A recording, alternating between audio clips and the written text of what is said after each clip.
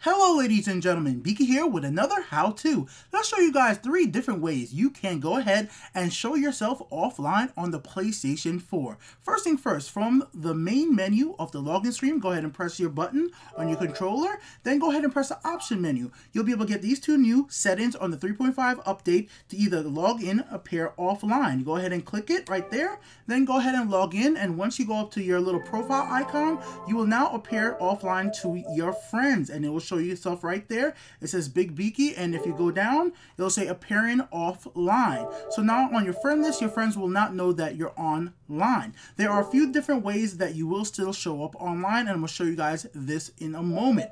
The other way to show yourself to be online or offline is click on profile, go to online status, and then go ahead and click online or offline. Whichever one you do press, make sure you guys know it's gonna take a few seconds to register. Once it registers, you can press back. Let's say that you go ahead and load up a game. Let's say you're in the middle of Trackmania per se. Once you're inside the game, let's just go ahead and load in the game. You don't always want to have to go all the way back to the, the log out screen or to your profile screen. So what you actually can do is go ahead and hold down the PSN button on your controller. Once you hold that down for a few seconds, it'll go ahead and bring up your options menu. Once you're there, you go to online status, and once again, you go pair offline. So if you're a YouTuber, anybody that constantly gets a lot of messages, or you just want to enjoy your game, enjoy your Trackmania, this is an easy way for you to go ahead and do that. Now, there are some caveats to know. With this offline functionality on the new PlayStation 4 3.5 update, if you do log in on the PlayStation 3, or somebody else in your family are using your PlayStation 3 to watch Netflix, or you're using a Vita, it will show you online on those systems. So it will still look like you're online playing